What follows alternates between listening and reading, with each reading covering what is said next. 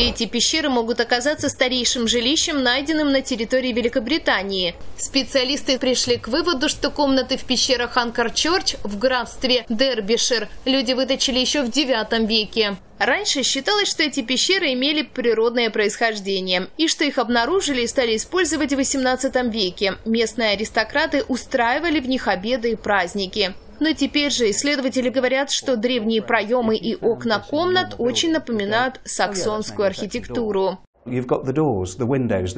Тут есть двери, окна, потолки, пол. Сохранились фрагменты. Кое-что разрушено. В Великобритании, наверное, больше нет чего-то настолько старинного, где бы люди жили, готовили, спали, ели и молились.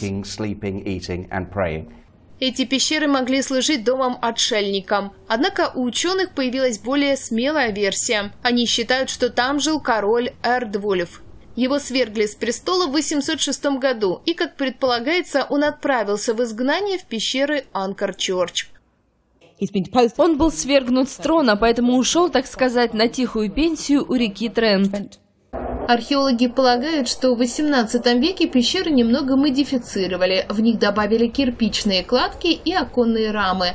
Также некоторые дверные проемы расширили, чтобы в них могли пройти дамы в пышных нарядах.